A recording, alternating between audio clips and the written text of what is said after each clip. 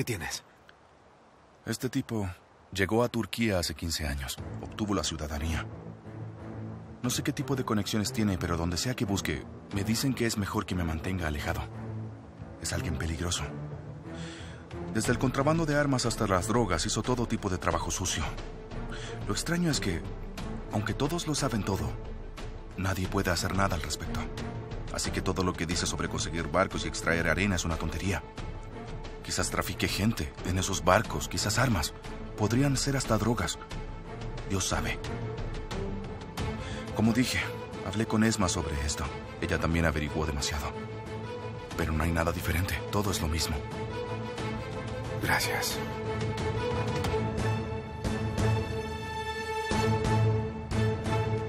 Háblame de esos Kaleli.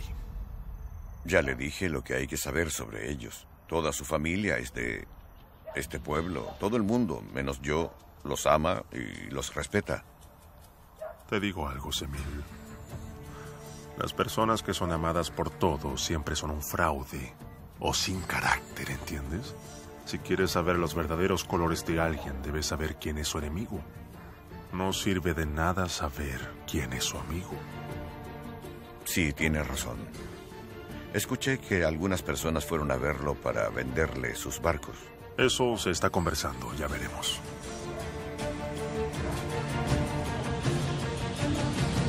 Vengan un día a cenar.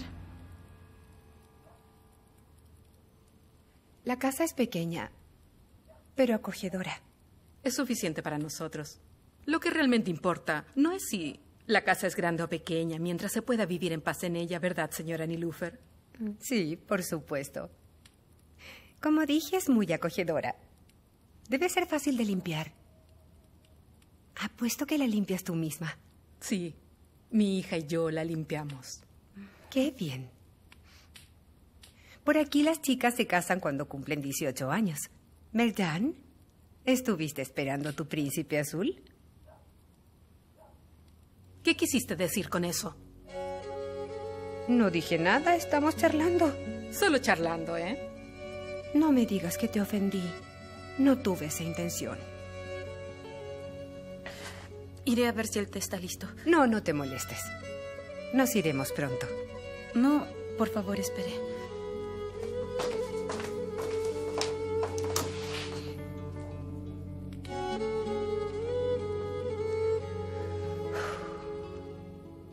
No tenías por qué decir esas cosas, mamá. Hija, no dije nada, estábamos conversando. Genko te dio una paliza y ahora te descargas con estas personas. Eres realmente patética. No seas insolente.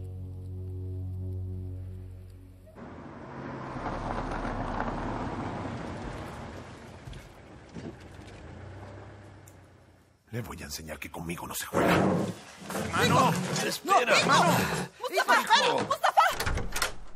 ¡Hermano! ¿Dónde diablos estabas? ¿Ah? ¿Dónde te habías metido? ¡Mustafa, no! ¡Para! ¡Mustafa! ¡Basta! ¡Mustafa! ¡Respóndeme! ¿Dónde estabas?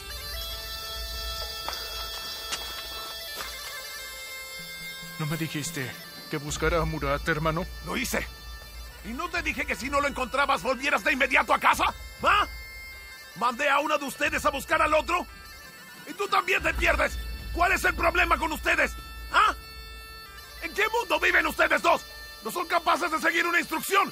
Tajir, muévete, por favor. ¡Ya fue suficiente, hermano! ¡Basta! Mustafa, contrólate, contrólate. Fatih, ven conmigo, cariño. Entremos a casa. ¿Por qué demonios me miras? ¿Ah? ¿Acaso me vas a golpear? Vamos, hazlo. Ven, dame una paliza. Ven a darme una paliza. ¡Tranquilízate!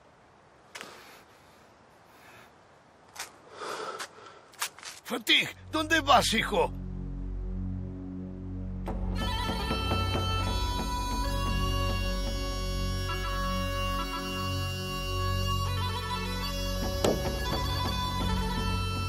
¡Fatih!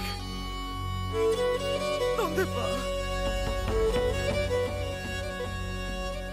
Mustafa, hiciste muy mal, hijo, muy mal. Ahora entra. Vamos, vamos adentro, adentro. Vamos, entra. No hagas más daño. ¡Fatih! Oye, detente, hombre. ¿Qué crees que haces? ¿No viste lo que pasó? ¿De acuerdo? Tienes razón, Fatih. Tienes toda la razón del mundo. Pero él es tu hermano mayor. ¿Y tengo que explicarte cómo es Mustafa? Está pensando en Murat. Está herido. Solo se siente culpable. Es comprensible. Entiende la situación. Estoy cansado. Tengo que irme de aquí, hermano. Tengo el coraje y la fuerza para irme. No tengo la menor idea. Pero tengo que intentarlo, como lo hizo Murat. No, Fatih. No, Fatih, no digas eso. ¿Qué estás diciendo, hermano? Por favor, arrepiéntete. Ni siquiera yo me fui de esta casa. No lo hagas, por favor. No lo hagas. Recapacita. Entra a la casa y olvidemos esto. Dejemos esto en el pasado. Yo tuve suficiente, hermano. Basta, basta, basta.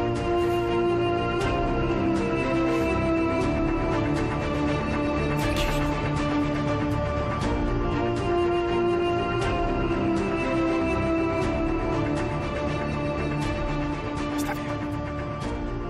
Haz lo que quieras hacer. Pero siempre manténme informado, Fatih.